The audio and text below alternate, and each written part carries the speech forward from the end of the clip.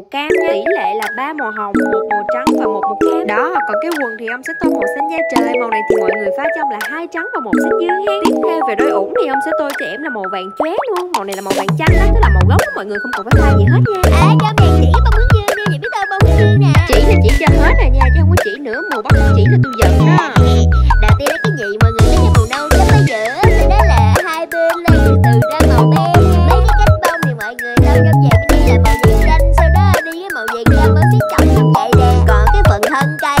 trong là màu xanh lá đậm Còn cái màu lá thì tô màu xanh chuối nha. Ghê lần đầu tiên chỉ mà vẹn luôn đó nha. Cơ mà không biết các bạn nghe âm nhạc bên đây chỉ xong không biết có hiểu không nữa. Ví dụ mà bạn nào mà không hiểu thì đừng quên cho ông biết nữa nha để ông giải thích lại cho nè mấy bạn lưu ý là màu đen sẽ tô cuối cùng nha. Màu nón thì ông sẽ tô màu xanh chuối dẻm nha và cái cặp mắt giống y như Kerubi luôn. Và có thể nói đây là nhóm Naruto đội nón của Kerubi và chúc các bạn thành công nha đừng quên trong